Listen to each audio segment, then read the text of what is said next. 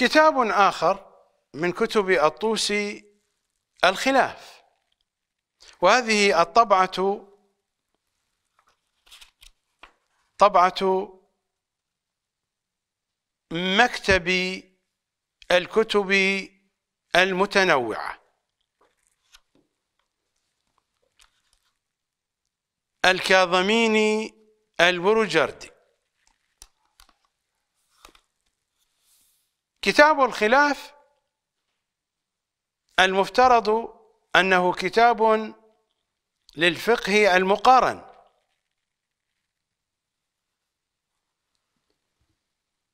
فهو يقارن في هذا الكتاب بين ما يقول من أنه فقه الشيعة بحسبه هو مع بقية المذاهب. أليس من المفترض أن يبوب الفقه بحسب ما عليه الشيعة؟ لماذا لا يوجد باب عنوانه الخمس في هذا الكتاب؟ هذا الكتاب لا يوجد فيه باب عنوانه الخمس. باب الزكاة ينتهي بأحكام زكاة الفطرة مباشرة يبدأ كتاب الصيام. كتاب الزكاة انتهى. حينما تنتهي مسائل زكاة الفطرة ويبدأ كتاب الصيام. ولا ذكر للخمس أصلا. ذكر مسائل الخمس بنحو منتشر في الموضوعات المختلفة. ذكر بعضا من مسائل الخمس في كتاب الجهاد وبعضا منها في كتاب الزكاة وبعضا منها في كتاب الفيء وهكذا. فضاع كتاب الخمس. هل الخمس مباح؟ هل الخمس واجب؟ ما هو الموقف؟ لن يستطيع أحد أن يصل إلى رأي واضح إذا ما قرأ كل هذه الكتب وبهذه الأساليب الشيطانية. تلاحظون أن الطوسي في كل باب يأتي بطريقة ملتفة بينما بقية الأبواب لم يفعل معها ما فعل مع الخمس. كتاب الصلاة مثلا هو هو. وسائر الكتب الفقهية الأخرى لماذا هذا الكتاب يعبث به الطوسي ويعبث به الآخرون أيضا لماذا؟ لماذا كل هذا اللف والدوران؟ لماذا كل هذا التدليس والتلبيس؟ لماذا؟ إنها سرقة سرقة سرقة لكنهم شرعنوها وضحكوا على الشيعة الحمير. إنني أتحدث عن البشر الحمير. أتحدث عن هؤلاء. وإلا فهذه كتب الطوسي وهي بين أيديكم. أنتم عودوا إليها بأنفسكم. ولكن اقرأوها تحقيقا وتدقيقا. لا أن تكونوا مع الطوسي ولا أن تكونوا ضد الطوسي. اقرأوها بنحو التدقيق والتحقيق. لماذا هذا اللف والدوران؟ لماذا هذا التدليس والتلبيس؟ هذه الكتب صادرة من مؤلف واحد. فلماذا حينما يكون الكتاب موجها لعوام الشيعة يضع الشيعة في حيرة من امرهم ولماذا حينما يكون الكتاب موجها لنخبة من الشيعة؟ يكتب بطريقة يمكن أن تفهم بأكثر من وجه ولكنه كتبها بقول واحد من دون أن يعدد الأقوال. فهذا يناسب كل مجموعة بحسبها بحسب فهمها. ولماذا حينما يأتي في كتاب المبسوط لا يجمع الفصول التي يتحدث فيها عن الخمس في موضع واحد. لماذا فرقها؟ فرق الفصول. هنا في كتاب الخلاف فرق المسائل. لماذا؟ لماذا هذه العبثية؟ هل هذه عبثية ليست مقصودة؟ هذه عبثية مقصودة. هذه عبثية لأجل الخداع لأجل التدليس. مثلما يقولون هناك فوضى خلاقة. هذه الفوضى فوضى لأجل أن يصل إلى مراده لأجل أن يضحك على الشيعة. جعفر سبحاني من المراجع المعاصرين ومن المتعصبين جدا للمذهب الطوسي وللمدرسة الأصولية. هذا كتابه. الخمس في الشريعة الإسلامية الغراء. طبعة مؤسسة الإمام الصادق. قم المقدسة. الطبعة الأولى 1420 هجري قمري. في الصفحة الثالثة بعد العاشرة وتحت عنوان الخمس في الكتب الفقهية. فماذا يقول عن الطوسي وعن كتابه الخلاف؟ غير أن شيخ الطائفة الذي هو الطوسي شيخ الطائفة هو الطوسي. غير أن شيخ الطائفة لم يفرد للخمس كتابا في كتاب الخلاف. بل أدرج كثيرا من مسائله في كتاب الجهاد والفيء في كتاب الفيء والزكاة في كتاب الزكاة وذلك تحفظا على النظام الدائري بين أهل السنة باعتبار أن المخالفين لأهل البيت يريدون مسائل الخمس في كتاب الجهاد لأن الخمس يرتبط بغنائم الحرب. وذلك تحفظا على النظام الدائري بين أهل السنة. هو كتاب للفقه المقارن. يفترض أنه يريد أن يثبت صواب ما تقوله الشيعة. فلماذا يتنازل عن التبويب الشيعي؟ القضية لا علاقة لها بهذا الموضوع.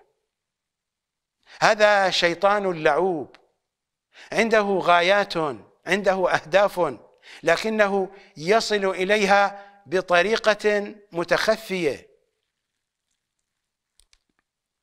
غير أن شيخ الطائفة لم يفرد للخمس كتابا في كتاب الخلاف بل أدرج كثيرا من مسائله في كتاب الجهاد والفيء والزكاة وذلك تحفظا على النظام الدائري بين أهل السنة.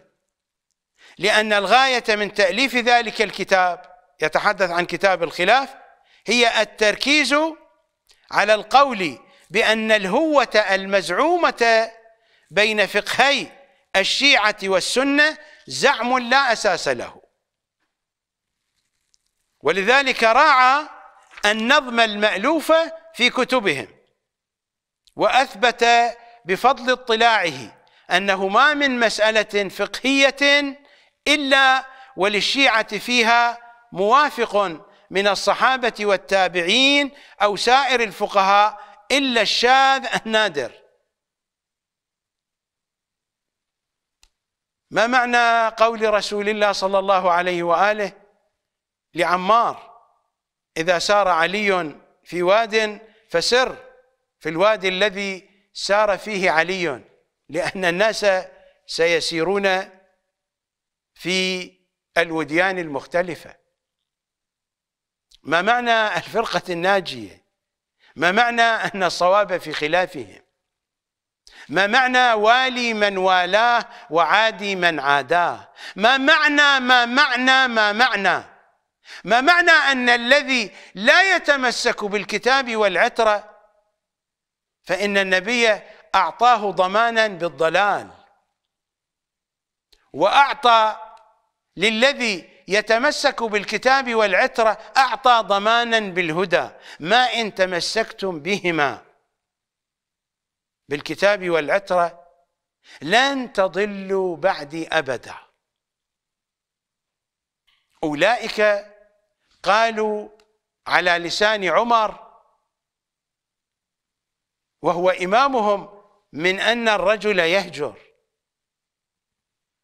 وذلك هو منهجهم. إنها رزية الخميس.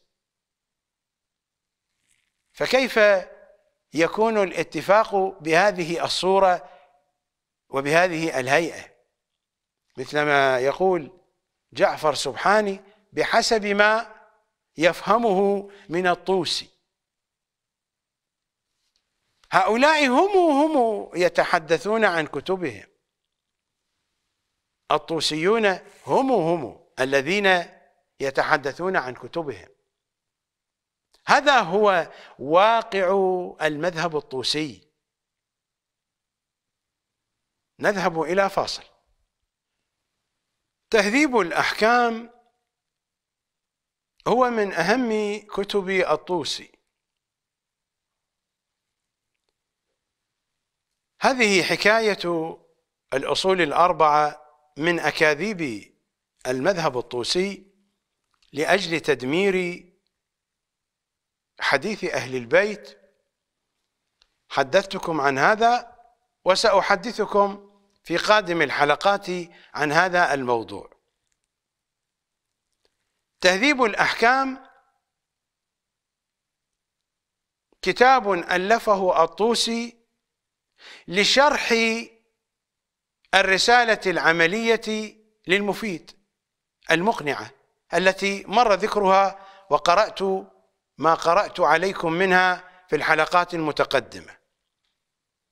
رسالة المفيد العملية المقنعة شرحها الطوسي في هذا الكتاب. تهذيب الأحكام شرح للرسالة العملية للمفيد المقنعه شرحها بالحديث.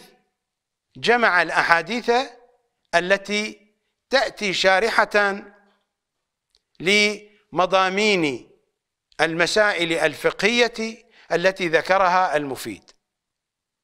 ومر الحديث عن هذا الموضوع وكيف أن الطوسية حرف ما حرف في هذا الكتاب؟ حرف ما حرف ليس بخصوص الأحاديث الأحاديث الموجودة في هذا الكتاب صحيحة لكنه حرف فيما ذكره المفيد. وجئتكم بأمثلة وجئت بالرسالة المقنعة وجئت بهذا الكتاب. لا أريد أن أعيد الكلام بهذا الخصوص. الجزء الذي بين يدي هو الجزء الرابع من تهذيب الأحكام للطوسي وهذه الطبعة طبعة مكتبة الصدوق طهران إيران. صفحة 155 الباب الخامس والثلاثون باب الخمس والغنائم. إذا أردت أن أقوم بعملية مقارنة فيما بين الكتب الأربعة التي يقال لها الأصول الأربعة الكافي الفقيه التهذيب الكافي للكليني الفقيه للصدوق التهذيب للطوسي والاستبصار أيضا للطوسي. إذا أردت أن أقوم بعملية مقارنة بين ما ذكره الكليني عن الخمس في كتابه الكافي ومر الحديث عن هذا الموضوع وما ذكره الصدوق أيضا في كتابه الفقيه وما ذكره الطوسي أيضا في كتابه الاستبصار. فإن ما جاء مذكورا في كتاب تهذيب الأحكام ما جاء مذكورا من الروايات والأحاديث إنه الباب الأكبر الذي اشتمل على عدد كبير من الأحاديث. الأحاديث التي ذكرها الكليني في الكافي كانت قليلة. وكذا الصدوق. لكن العدد الأكبر من الأحاديث جمعها الطوسي في هذا الكتاب. لأي شيء؟ لغرض لغرض إثبات أن الخمس واجب ولا بد أن يدفع. لكن بطريقته بطريقته المختفية والمتخفية. من صفحة 155 إلى صفحة 202 باب اشتمل على عدد كبير من الروايات. من الحديث 344 إلى الحديث 417 أربعة وسبعون رواية. أربعة وسبعون رواية ذكرها الطوسي في هذا الباب في هذا الكتاب. لا يوجد مثل هذا العدد لا عند الكليني في كتابه ولا كذلك عند الصدوق في الفقيه. لأن موضوع الخمس كان مهما جدا عند الطوسي الكليني ما ذكر عددا كبيرا من الأحاديث. وكما بينت لكم لم يعقد بابا للخمس في الرسالة العملية وإنما عقد باب الخمس في الجزء الأول في باب العقائد. لأن القضية نظرية. هكذا أصبحت زمان الغيبة الأولى. الطوسي جمع عددا كبيرا من الأحاديث وما أشار إلى التوقيع الشريف. هو بصدد أن يجمع كل حديث وصلت إليه يده فيما يرتبط بموضوع الخمس. لكنه لم يذكر التوقيع الشريف الذي ذكره في كتابه الغيبة قلت لكم الطوسي هذا ليس له من عذر. يمكن للإنسان أن يبحث كي يجد عذرا لابن الجنيد كي يجد عذرا للمفيد. يمكن لكننا لا نستطيع أن نجد عذرا مطلقا للطوسي.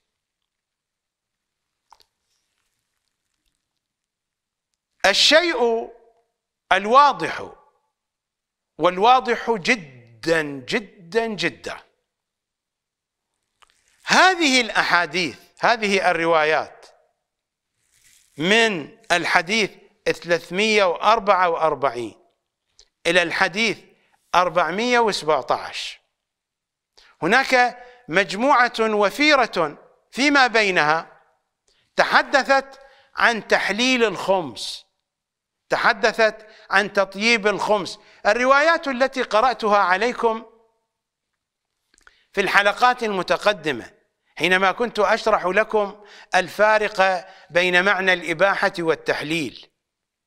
قرأت عليكم عددا وفيرا من الروايات والأحاديث التي تصرح بأن محمدا وآل محمد يحللون لشيعتهم يطيبون لهم الأخماس وبينت لكم المقصود من ذلك لا مجال لإعادة التفاصيل المتقدمة لضيق الوقت. هذه الروايات موجودة هنا. من الآخر من الحديث رقم 344 إلى الحديث رقم 417 أربعة وسبعون حديثا. أربعة وسبعون رواية منها ما هو مختصر ومنها ما هو مفصل. لم ترد كلمة الإباحة في كل هذه الروايات. وردت كلمة التحليل التطيب غير ذلك. لكن كلمة الإباحة ما وردت في كل هذه الروايات. والأمر نفسه لم ترد هذه الكلمة في الروايات التي في كتاب الكافي وكذلك في كتاب الفقيه وكذلك في كتاب الاستبصار وفي سائر الكتب التي تناولت هذا الموضوع. مر الكلام بهذا الخصوص. إلى أين أريد أن أصل؟ أقول من أن هذا العدد من الروايات والأحاديث لم يشتمل على كلمة الإباحة. لكن الذي أجده في تعليقات الطوسي هو لا يستعمل إلا كلمة الإباحة. لماذا؟ أليس المفترض أن الفقيه حينما يقرأ الأحاديث الشيء الطبيعي سيكون متاثرا بألفاظها ومضامينها؟ والإحتياط الفقهي والعلمي يلزمه أن يستعمل المصطلحات نفسها لكنه يقوم بشرحها.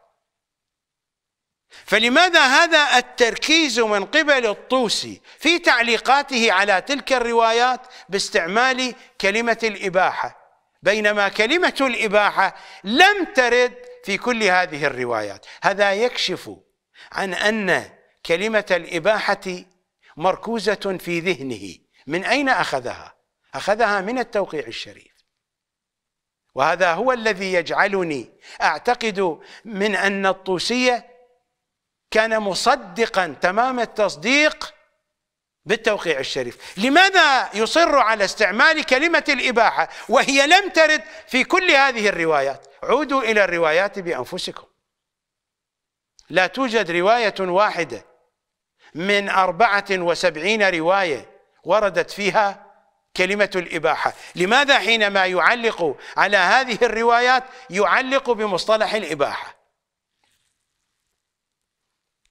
صفحة 190 أما الغنائم والمتاجر إلى أن يقول فإنهم عليهم السلام قد أباحوا لنا ذلك.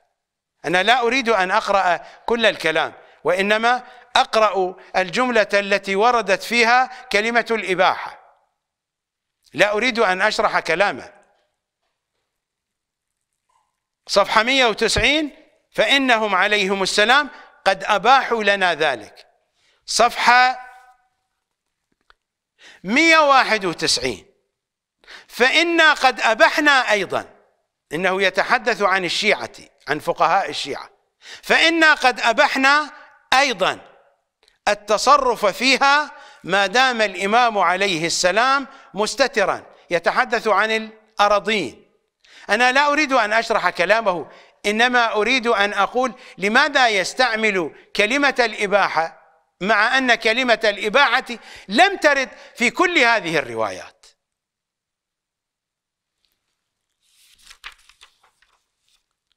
صفحة 193 فإن قال قائل إن جميع ما ذكرتموه إنما يدل على إباحة التصرف لكم في هذه الاراضين كلمة الإباحة. صفحة 194 وأما الأرضون التي تؤخذ عنوة أو يصالح أهلها عليها فقد أبحنا شراءها وبيعها. أيضا الإباحة. صفحة 196 وأما الأنفال وما يجري مجراها إلى أن يقول وإنما أبيح لنا التصرف إلى آخر الكلام.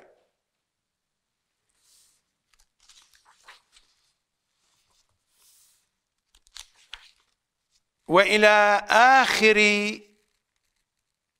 كتاب الخمس الروايات كلها خلية من كلمة الإباحة بينما الطوسي يعلق عليها ويشرحها ويناقش الأقوال المضادة باستعمال الإباحة. لماذا؟ أليس هذا غريبا؟ وكنت قد بينت لكم بأن كلمة الإباحة وردت في التوقيع الشريف ووردت في رواية هي ليست موجودة في كتب الطوسي وإنما عثر عليها بعد ذلك بزمن بعد الطوسي ابن أبي جمهور الإحسائي ذكرها في كتابه العوالي. إنها مروية عن إمامنا الصادق وهي تتحدث أيضا عن زمان غيبة القائم صلوات الله وسلامه عليه. فعندنا روايتان وردت كلمة الإباحة فيهما. هاتان الروايتان ترتبطان بإمام زماننا وعصر غيبته. لماذا هذا الإصرار من الطوسي على كلمة الإباحة؟ من حيث لا يشعر من حيث لا يشعر. أكثر تصرفات الإنسان تنطلق من طبقة اللا شعور. وطبقة اللا شعور عند الإنسان هي التي تجتمع فيها المعلومات. أكثر تصرفاتنا تنبعث من طبقة اللا شعور. قليل من تصرفاتنا تنبعث من طبقة الشعور. في لا شعوره في إدراكه الباطني هناك تصديق للتوقيع الشريف. ولذا بقيت كلمة الإباحة بقيت واضحة في ذاكرته ومخيلته. ومن هنا فإنه يصر على استعمال هذه الكلمة مع خلو الروايات منها مع خلو الروايات التي كان يشرحها ويتحدث عنها. والأمر هو هو في كتابه الاستبصار. هذا الاستبصار والذي يتألف من أربعة أجزاء جمعت في مجلد واحد هذه الطبعة طبعة مؤسسة الأميرة. الطبعة الأولى 1429 هجري قمري 2008 ميلادي بيروت لبنان. صفحة 289 وهذا الباب هكذا عنونه الطوسي. باب ما أباحوه لشيعتهم من الخمس في حال الغيبه الروايات الموجودة والتي ذكرها لا توجد فيها كلمة الإباحة ولا توجد فيها كلمة الغيب. هذا المضمون هو مضمون التوقيع الشريف لكنه لم يثبت التوقيع الشريف لأن روايات التحليل التي ذكرها ترتبط بعصر حضور الأئمة. ما قبل بداية الغيبة الأولى ولا علاقة لها بعصر الغيبة وأكثرها في التحليل فيما يرتبط بالجانب الأخروي. لا فيما يرتبط بالجانب الدنيوي. وأعتقد أنني شرحت هذا وبنحو واضح في الحلقات المتقدمة. ولا أجد مجالا لإعادة الكلام. هذا العنوان باب ما أباحوه لشيعتهم من الخمس في حال الغيبة. يفترض أن أول حديث يوضع هنا هو التوقيع الشريف. لم يضع التوقيع الشريف هنا.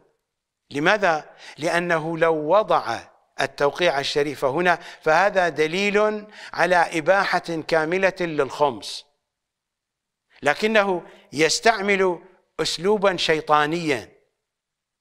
فيأتي بروايات التحليل التي حللت ما حللت للشيعة زمان الحضور ومن خلالها يقولون إن بعض الأشياء حللت للشيعة زمان الغيبه والروايات خلية من ذكر الغيبه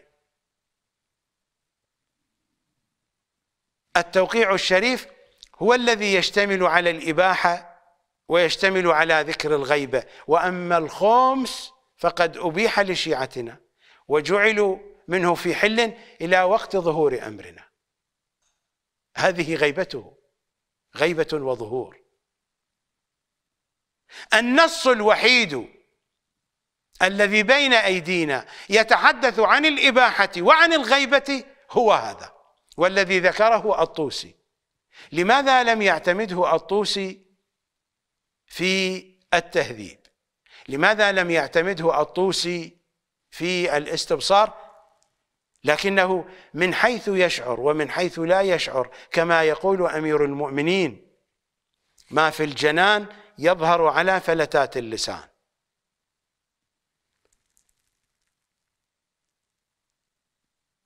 قلتها لكم وأقولها لكم الآن حبل الكذب قصير وإن طال الزمان. سيأتي الوقت الذي سيقطع الصدق فيه حبل الكذب. الصدق سيف لكنه قد لا تهيأ له الظروف كي يقطع حبل الكذب. أو أن الحمير يريدون التمسك بحبل الكذب. أتحدث عن البشر الحمير. لكن الصدق سيف. إذا ما حانت فرصته فإنه سيقطع حبل الكذب.